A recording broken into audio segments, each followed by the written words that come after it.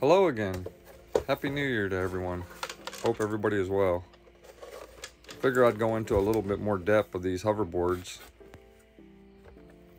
Had a few people asking some questions about these and I have one here. Everyone's a little different but the fundamentals are pretty much the same. Some have aluminum frames and this one here is a plastic frame. Batteries these come with are fairly decent. 18650 batteries is normally what they are.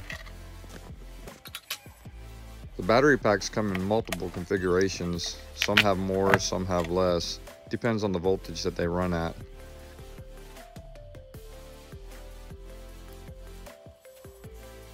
This battery was out of another hoverboard. You can see they're a little different.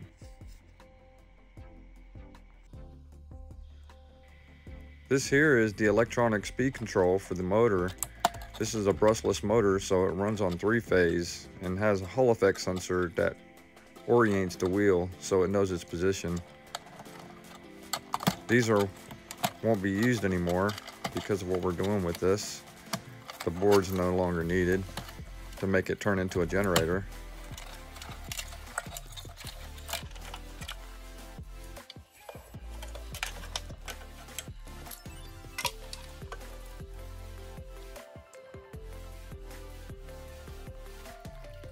Here I'm removing the speed control. These are real similar to radio controlled vehicle speed controls for brushless motors. And I've actually tried to see if it would work and you can actually run these hoverboard wheels with a RC brushless motor speed control. Here I'm showing how you can take the halves of the hoverboard apart. There's a snap ring. You just need some snap ring pliers this is the other half of the board, which is basically a mirror image. They communicate to each other, the boards do. The battery is usually only on one side.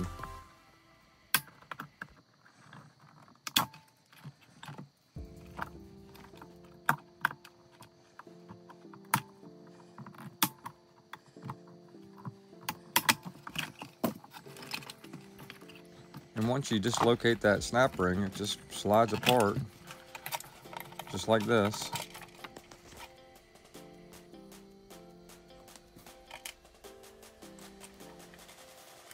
Usually any extra wires go to like a LED light. And these are what control the speed on the boards. These wires right here on this little plugged all together I'll show you what you can do with these later in the video. But for now, if you just want to be most efficient in generating power, you won't use those. And each one of these legs that I'm cutting here are your three legs that are for your three phase. Those three wires are going to go to your three phase rectifier, which is right here. The other side, it isn't labeled, but positive and negative on this type of rectifier is. So I figured I'd show that doesn't matter what your phases are. You just hook up your three phases to that side of the rectifier. And these are the connectors I bought to go on these rectifiers. But it ended up turning out that they were too narrow for this wide blade. As you can see. So I ended up just trimming the blades to fit these connectors because I had them on hand. Also with these spade connectors, I was able to push them on and you can actually pull the covers right off of them, which makes it way better to solder them to the wires once you connect them. So I went through here and just trimmed the rest of these.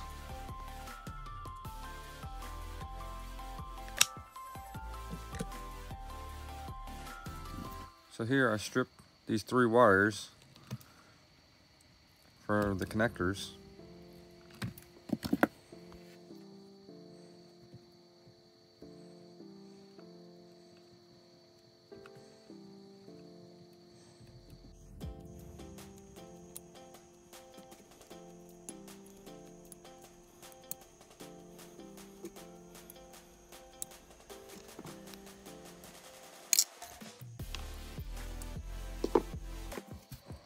And right here, you want to make sure you put your covers on before you put your connectors on and solder them. And when you solder it, you want to make sure you solder it right at where the wire comes through the connector so the cover can come over the connector and not be obstructed and not be able to get your cover all the way on.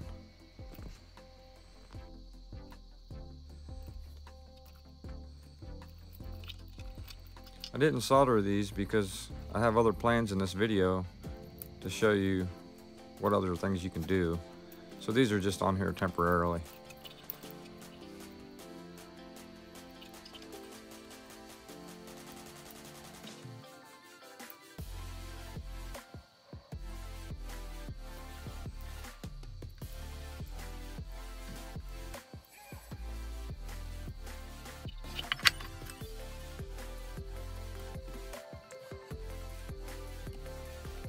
Here's the rectifiers on Amazon.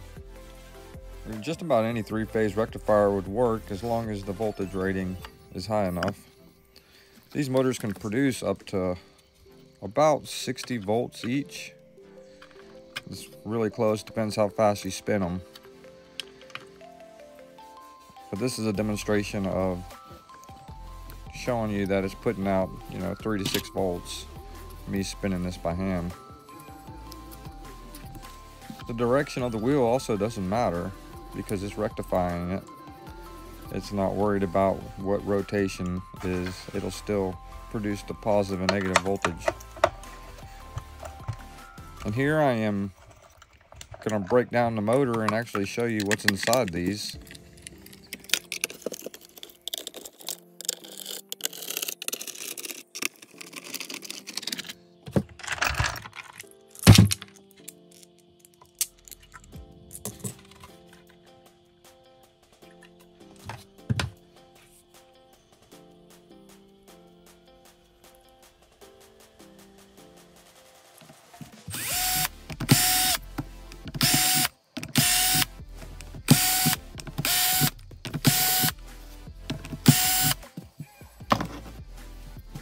And after removing the screws, you just gently pry on this and, and it'll come up.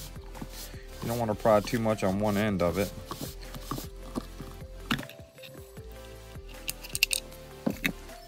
And here's a look at the inside of these hub motors. And you can see where the magnets, the permanent magnets are on the outside. And they're pretty close to each other. There's not much space in between the rotor and the wheel here is the bearing cradle. This is what keeps everything in alignment on the hoverboard wheel. And you can actually remove this inner stator from the wheel. Takes a little bit of force though.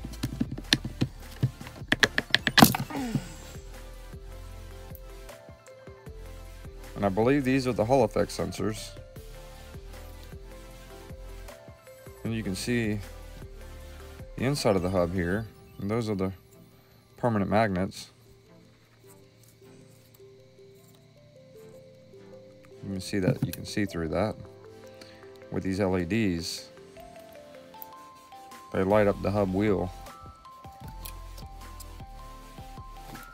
And I'm going to show you how you can wire this to where when you're generating energy, you know, at a certain rate of speed, it will actually light up these LEDs.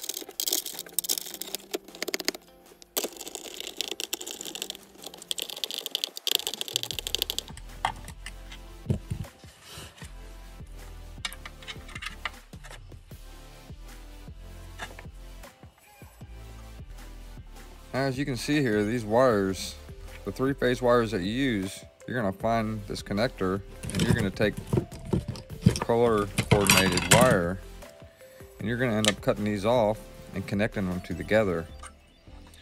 So you got green, you look for the small green, you look for the small blue, and you look for the small yellow.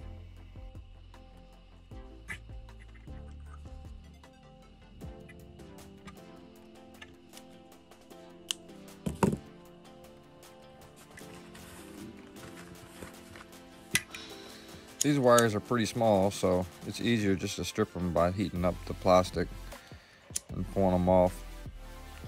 It's smaller than my stripper will do, and it works.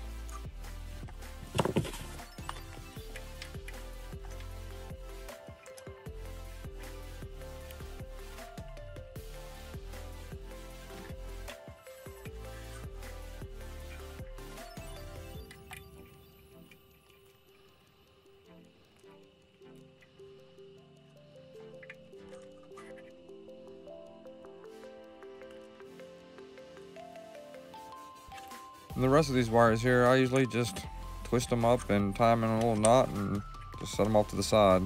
We'll probably never use these wires.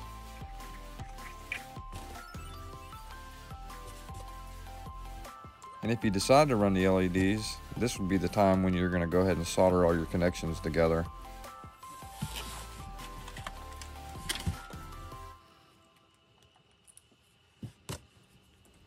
It doesn't matter what order you plug the connectors in.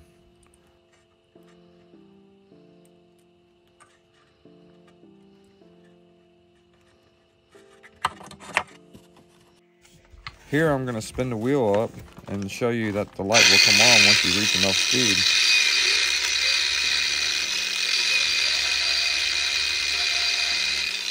Here I'm showing you that you don't need the rectifier or anything for the LEDs to work and it show you it start generating power. And I hope you guys enjoyed the video. Thank you and have a good one.